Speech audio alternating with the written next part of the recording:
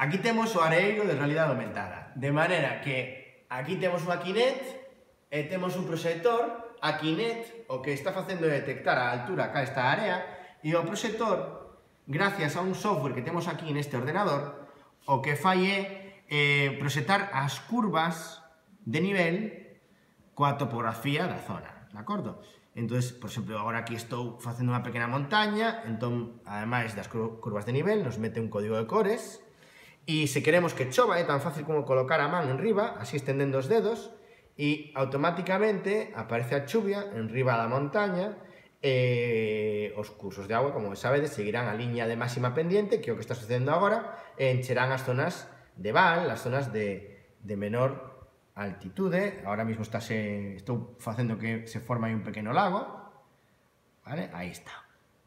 E este lago, por suposto, se eu modifico a topografía, veredes como agora volve que as zonas de menor altura. Aí está, aí está baixando.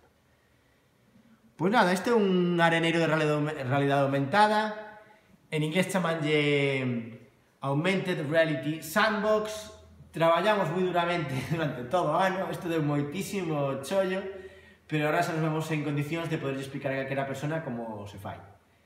E, e nada, Agora o que temos que facer é disfrutalo, darlle un uso didáctico e pedagóxico nas aulas que os rapaces están encantados xa coa idea de traballar con el. Chao.